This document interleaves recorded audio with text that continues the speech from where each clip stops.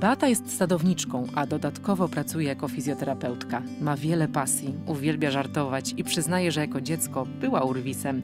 Jakich cech będzie szukała u partnera? Przekonajmy się. Razem z rodzicami prowadzę gospodarstwo sadownicze. Nasze gospodarstwo jest dosyć specyficzne, dlatego że znajduje się na terenie dużego miasta e, i to dosłownie w granicach miasta. W sadzie mamy tak naprawdę wszystkie drzewa owocowe. Morele, gruszki, śliwki, brzoskwinie, oczywiście najwięcej jabłek. To jest nasza główna produkcja. Cześć. Cześć, cześć, Marta. Beata. Co robisz? Y, E, sortuję jabłka, bo akurat nam się chwilowo skończyła pinowa, No. więc e, sortuję większe, mniejsze. lubisz to? E, to jest fajne dosyć, to jest słodkie, słodkie jabłko. A ty mówisz o jabłkach. Ja się w ogóle pytam, czy lubisz to robić. w ogóle lubię. Czy w ogóle E, lubisz tak, to? lubię, bo Lubisz. tutaj się urodziłam, w tym się wychowałam i to jest też coś, co kocham, kocham robić i nie- jakoś nie wyobrażam sobie, żeby miało tego nie być.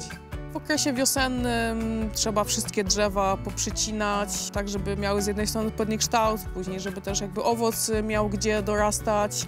Lubię pracę w sadzie, pomimo tego, że jest to ciężka praca, jest dużo różnych obowiązków, ale to też daje takie poczucie wolności, bo jestem sama sobie swoim szefem i pracuję tak naprawdę kiedy chcę. Tak naprawdę całe życie w tym sadzie, bo wiadomo, od prostszych prac jako dzieciak, e, e, no i tak naprawdę stopniowo przejmowałam coraz, coraz więcej. Mhm. I w sumie przejmiesz to docelowo. Pewnie tak. No gdzieś tam wspólnie razem z siostrą w tej chwili pracujemy. E, Ja najczęściej zajmuję się bardziej zbiorami, siostra zajmuje się sprzedażą.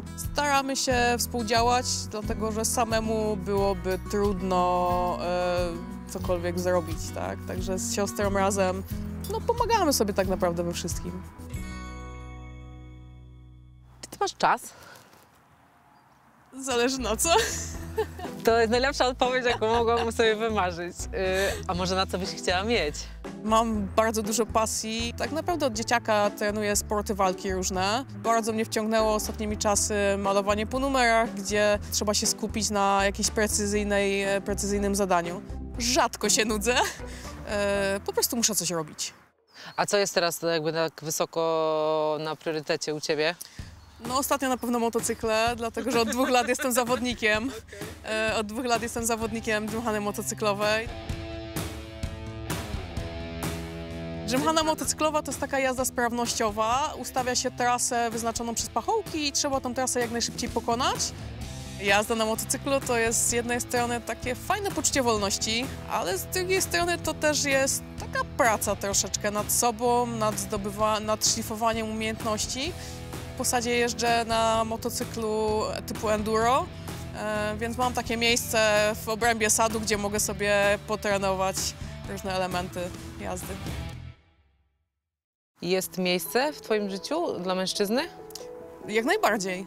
E, natomiast e, ja wyznaję zasadę partnerstwa, Mhm. czyli zarówno partner, nie chciałabym, żeby próbował ograniczać moją wolność, ale też nie wyobrażam sobie tego w drugą stronę. Ja nigdy Mhm. nie byłam w żadnej dłuższej relacji. Mhm. Gdzieś tam jakieś spotkania, próby, ale to nie tak do końca nie to. Na pewno brakuje mi towarzystwa, e, dlatego że nawet te najfajniejsze chwile fajnie przeżywać z kimś razem, gdzie można się tym podzielić. Chciałabym mieć z kim wyjść, nie wiem, do kina, do teatru, ale też po prostu pobyć e, w leniwe niedzielne popołudnie Co ci się w mężczyznach podoba? Na co zwracasz uwagę? na inteligencję. Mhm. Lubię ludzi, którzy są ciekawi świata, Mhm. e, którzy są też otwarci na, na poznawanie nowych rzeczy. Na pewno jakiś rodzaj zaradności, Mhm. takiej ogólnej, e, bo tu nie chodzi o to, że facet musi mieć nie wiadomo jakie wykształcenie i, i nie wiadomo co jeszcze, tylko żeby po prostu chciał. Zawsze mi się gdzieś podobali mężczyźni, którzy są troszeczkę starsi ode mnie, w moim wieku lub też troszeczkę starszy, tam nie wiem, powiedzmy do 40-45 lat. Mhm. Liczy się taka dojrzałość bardziej emocjonalna. 45-letni mężczyzna no może być po rozwodzie albo no, pewnie, pewnie jest jakieś dziecko, wiesz, Znaczy, które... Powiem tak, no oczywiście łatwiej, łatwiej się układa z, ży- życie z kimś, kto ma tak zwaną czystą kartę i Mhm. gdzieś tam nie ma, nie ma dzieci. Natomiast jeżeli jest jakiś dzieciaczek i e, to wszystko jest poukładane, ludzie są dogadani ze sobą, to, to też nie jest problem. Mhm. Zawsze marzyłam o tym, żeby mieć e, męża, trójkę dzieci, tak jak nas było pełno Tak w domu było. i taki, taki pełny dom, żeby był, bo, bo to jest fajne. Jasne. Jak najbardziej jestem gotowa na to, żeby wpuścić kogoś do mojego świata i pokazać mu mój świat moimi oczami. E, I chętnie też e, poznam e, inne spojrzenie na może na coś kompletnie innego. Jeżeli zainteresowała Was moja historia, piszcie listy. Chętnie Was poznam.